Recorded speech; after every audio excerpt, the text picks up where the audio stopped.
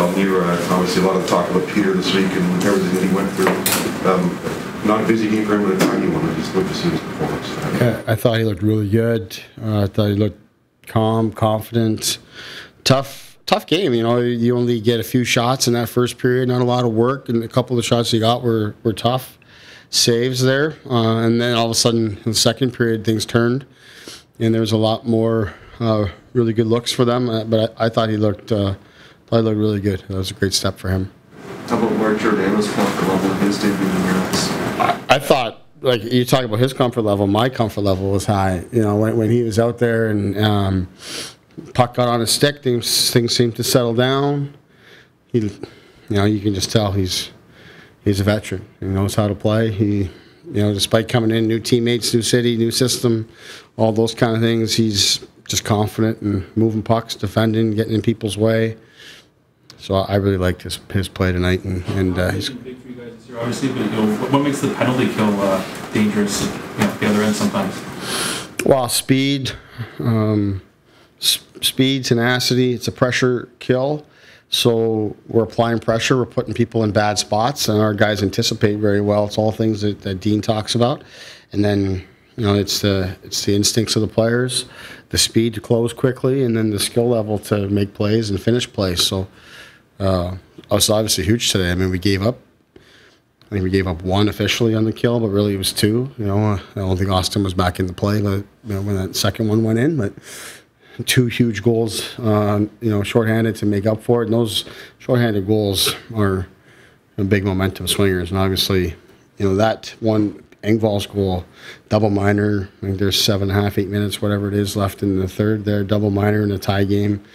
You know, put your team in a tough spot there. And PK was excellent. I don't know if we gave up a scoring chance and, and then had a couple of our own and, and made good on one. So I really like that and made up for the fact you know that our power play obviously wasn't good tonight. Five on five, the, the group defensively in front of Peter. I thought we defended well. I think there's times in the second period where it opened up a little bit.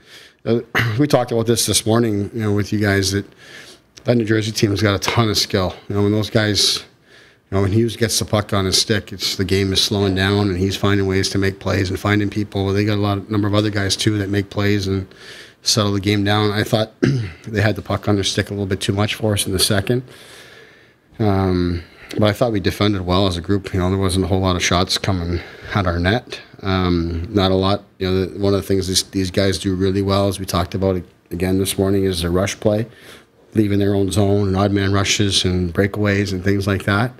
And that was a real focus for us tonight. I don't think we gave up any of that kind of stuff. So that was really good. Uh, it's important.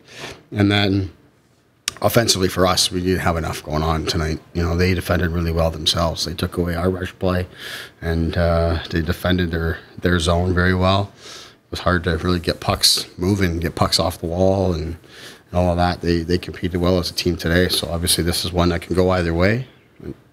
glad it worked out for us. Giordano said he really appreciated being in the starting lineup. In fact, that ovation is something he's going to remember for a while. When you're doing something like that, are you hoping that it might create a an energetic buzz through the whole team, or is it simply is just a gesture to him? I think it's a bit of both. You know, we, we now it's a starting lineup. I just say you know, it's a bit of a welcome home for him. You know, it's a great opportunity for for the fans to acknowledge him. You know, he's as much as he's coming here to play for the Leafs and all that, he's also a local guy that has had a very accomplished career. Uh, so I think it's a pretty special moment, and you know, not surprised that our fans recognize that. Obviously, we have a very intelligent uh, fan that knows what's happening, and, and, they acknowledge that. So I was happy that he had that moment. How about Colin Blackwell's game? I thought he worked. I thought he did. You know, he shows what, what he's going to be. He worked. He competed. I thought there was a couple of shifts that th that line had some real energy and some some opportunities heading towards their net. Um, you know, power play penalty kill. I thought he looked comfortable there. So you know, I thought it was it was it was good uh, good for him. I think he's a guy.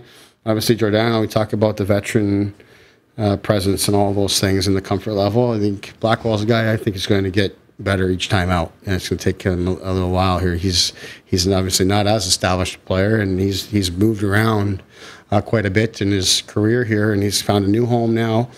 Uh, I think he's going to continue to get better, but I did like pieces of his game tonight.